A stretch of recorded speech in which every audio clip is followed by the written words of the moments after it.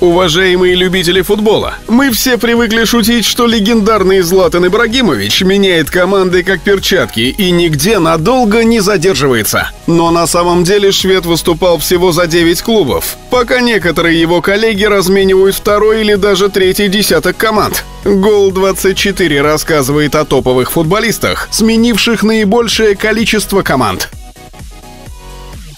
А перед началом просмотра давайте проверим ваши знания футбола. Сможете ли вы ответить на наш небольшой вопрос в комментариях? А теперь продолжим.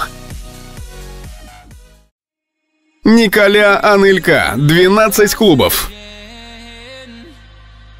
Про шутили, что он часто меняет команды еще до того, как это стало мейнстримом. За свою карьеру француз поиграл почти за полтора десятка команд. Начинал в ПСЖ, но не наигравшись там перешел в Арсенал, где его очень ждал Арсен Венгер, который сделал из Николя прекрасного форварда.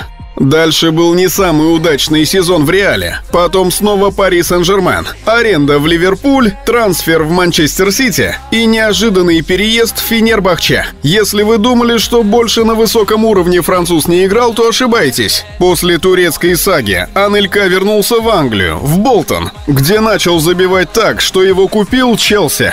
С синими он взял 4 трофея, но после отправился покорять Китай. Из Шанхая Шэньхуа француз отправился в аренду в Ювентус, стал там чемпионом и вновь вернулся в Англию. На этот раз в Вест Бромвич. Последний свой сезон Анелька отыграл в Индии за Мумбаи-Сити, где в 2015 году решил закончить карьеру.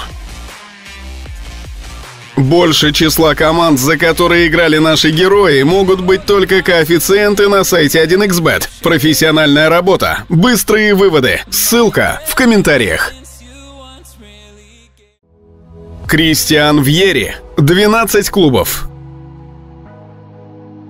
Талант Вьери был замечен скаутами Торино, который стал первым клубом в насыщенной карьере игрока. Дальше были Пиза, Равенна, Венеция, Аталанта, Ювентус, Атлетико Мадрид и Лацио. Их всех объединяет один факт. Форвард не задерживался ни в одной из команд больше, чем на год. Единственным исключением стал Интер, где Вьери отыграл целых шесть сезонов. Но за все это время черно-синие взяли лишь один Кубок Италии, и форвард вновь отправился колесить по разным клубам. Он успел еще поиграть и в Милане, Монако, вновь в Аталанте, Фиорентине и, не поверите, снова в Аталанте, где после третьего пришествия закончил с футболом. Удивительный игрок, который, несмотря на частые трансферы, в каждом клубе выкладывался на максимум и забивал. Если бы не травмы, то кто знает, может быть, Вьере даже взял бы золотой мяч.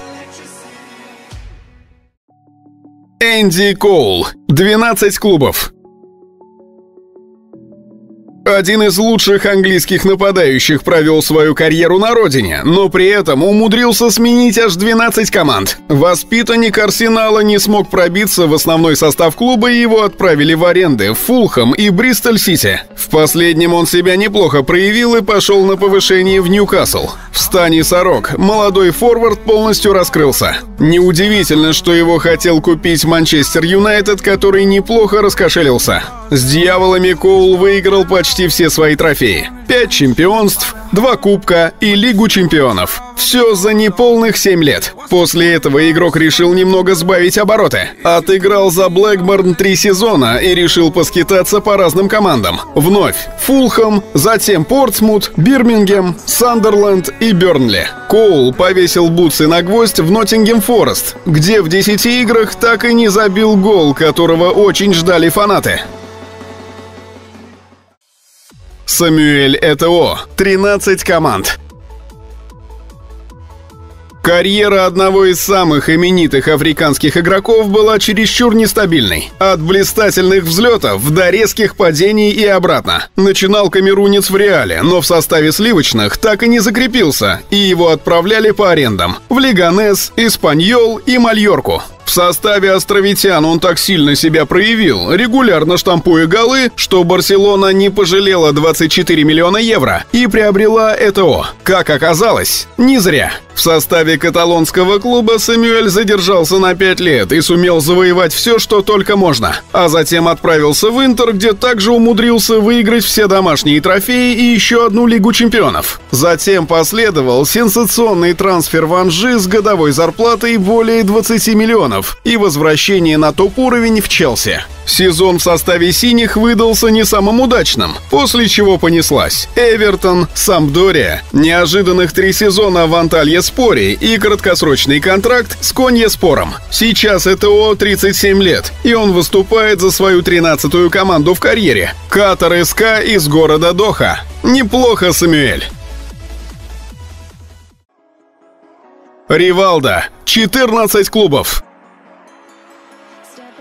Бразильский нападающий за свою богатую карьеру выиграл немало трофеев и наград, сменив при этом аж 14 команд. Начал Ривалдо в Санта-Крузе, поиграл за Можи Мирин, Коринтианс и Палмейрос, а затем перебрался в испанский Депортиво. Своими голами он заинтересовал Барселону, которая купила форварда за тогда огромные 26 миллионов долларов. Стоит отметить, что именно в Барсе Ривалдо показывал свой лучший футбол. За пять лет он дважды выиграл Ла Лигу, взял Кубок Короля и Суперкубок УЕФА, а также Золотой мяч в 1999 году. Поссорившись с Ван Галом, уехал в Милан, с которым взял Лигу чемпионов, а затем начал свои скитания по миру.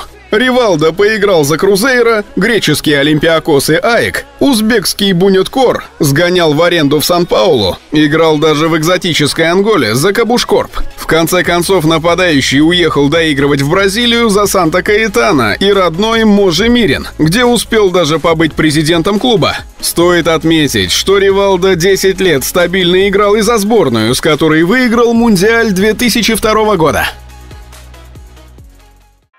Прошлом видео мы спросили вас, друзья, а кто официально признан самым низким футболистом в мире? Ответ – Диего Буананоте.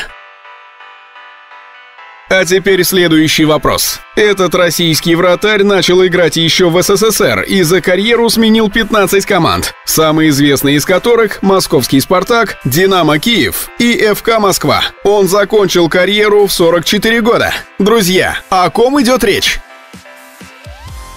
Ну а на этом все. Спасибо за просмотр. Надеемся, что вам нравится наше творчество. Не забывайте ставить лайки, комментировать и подписываться на наш канал. Также нажимайте на колокольчик, чтобы не пропустить следующее видео.